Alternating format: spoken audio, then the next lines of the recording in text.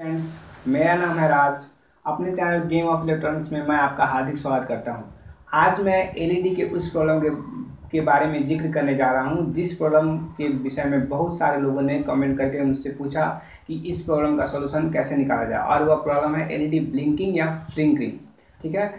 तो मैं उसके बारे में आज वीडियो आपको देने जा रहा हूँ और उम्मीद है कि यह वीडियो आपके लिए लाभदायक सिद्ध होगा। तो चलिए शुरू करते हैं। तो हम एलईडी बॉल को पहले चेक करेंगे और ये होल्डर जैसा कि पिछले वीडियो में मैंने बताया था, मैं ऑलरेडी एक वीडियो डाल चुका हूँ, इसको एसी में लगा लें स्विच ऑन कर लें। ऑलरेडी मैं एक वीडियो डाल चुका हूँ एलईडी के बारे में, ये मेरा दूसरा वीडियो है एलईडी के ऊपर। जैसे देखिए एलईडी ब्लिंक कर रहा है एलईडी फ्लिंकिंग हो रहा है, ठीक है? इसका बारे में मैं आज आपको सोल्यूशन देने जा रहा हूँ। स्विच ऑफ़ कर दिया हमने। उसके बाद एलईडी को हम खोल लेंगे जैसे मैंने पहले खोल रखा है, खुल गया। अब गौर से देखेंगे इसको। तो सारे बॉल फ्लिंकिंग कर रहे हैं, सारे बॉल ब्लिंकिंग हो रहे हैं, जल रहे हैं और बुझ रहे हैं, सारे बॉल।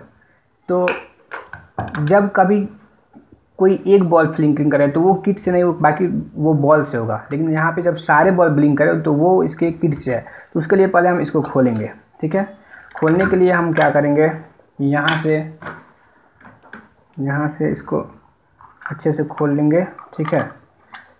और मैं पहले थोड़ा ढीला कर चुका था ताकि आपको समझ ना लगे। लेकिन यहाँ से आपको जो लगा हुआ है, शोल्डर, इसको ड्राई करके तब आपको, इसको हटा के तब आपको यहाँ से खोलना होगा। उसके लिए आप ब्रश का सहारा ले सकते हैं।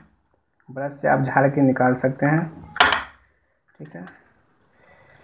पीसीबी निकालने के लिए आपको ये हटाना ही पड़ेगा। तो जब रंगा डिसोल्डर हो जाए तो आप इसको आराम से खींच लें, निकल जाएगा। अब आप क्या करें, एक एक्स्ट्रा तार की मदद से, एक अच्छे वायर, दूसरे वायर की मदद से, जहाँ एसी टर्मिनल है, यहाँ पे आप इसको कनेक्ट कर दें।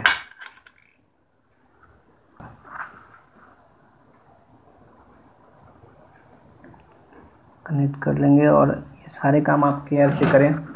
कनेक्ट हो गया। अब आप इसको जैसे ही लगाएँगे तो एल डी करना बस।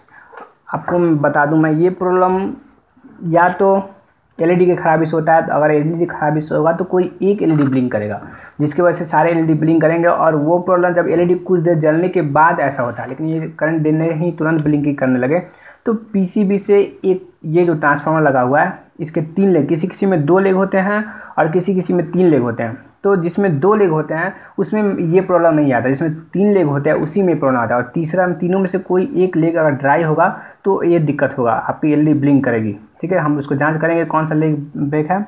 और कभी कभी ये कैपेसिटर ख़राब होने से भी हल्का फुल्का ब्रिंगिंग होता है। ठीक है? ये सौ वो, तिरसठ वोल्ट और सौ यू का जो लगा हुआ है कैपेसिटर इसके ख़राब होने से। तो अभी हम यहाँ पे आएँगे।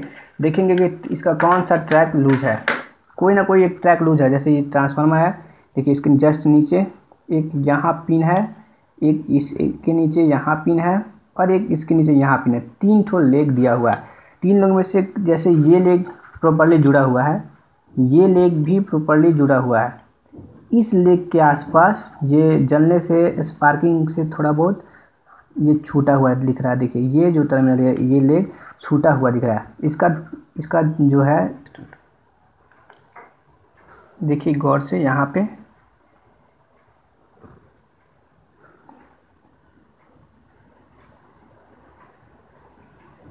बड़ा करके हम इसको दिखाने का प्रयास करते हैं। गौर से अब देखिए अब दिख रहा होगा। यहाँ पे डैमेज है। ये जो लेग है ट्रांसफार्मर का तो देखिए पीसीबी में इसका ट्रैक यहाँ से लेके होते हुए यहाँ तक गया है। तो अगर ट्रैक अगर आयरन से जोड़ने से काम चल जाए तो चल जाए सबसे अच्छा रहेगा आप तार को छील लें और यहाँ से यहाँ तक इसको कनेक्ट कर लें, ठीक है? तो मैं तार से इसको कनेक्ट करके आपको दिखाता हूँ। तार ले लेंगे हम इसको। अच्छे से लगा के और ये तीनों टर्म में हम अच्छा से इसको सोल्डिंग कर देंगे।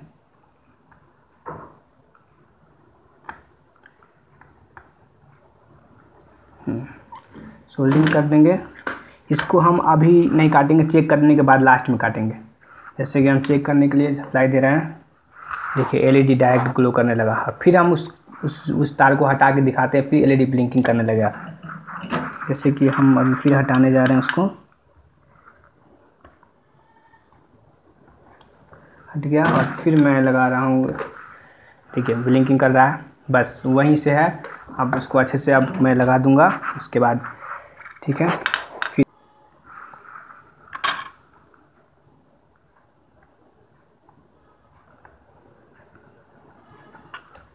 हो गया और जो भी एक्स्ट्रा वायर है, इसको आप कटर या ब्लेड की सहायता से काट लेंगे। फिर मैं इसको एक बार चेक करूँगा। देखिए, जैसा कि रेडी डायरेक्ट ग्लो करना शुरू हो गया। ठीक है? अब बस जैसे हमने इसको खोला है, उसी तरह इसको पैक कर देंगे।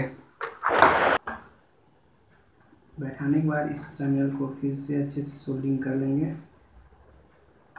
और अगर आपको वीडियो अच्छा लगा हो तो आप लाइक करें और कमेंट करना ना भूलें। और मेरे चैनल को बढ़ावा दें, जितना अधिक से अधिक हो सके, उतना शेयर करें। ठीक है? अच्छे से इसको बैठा लेंगे। बैठाने के बाद हम इसको चेक करेंगे। L D glow direct glow करना शुरू कर दिया। तो वीडियो देखने के लिए बहुत बहुत धन्यवाद।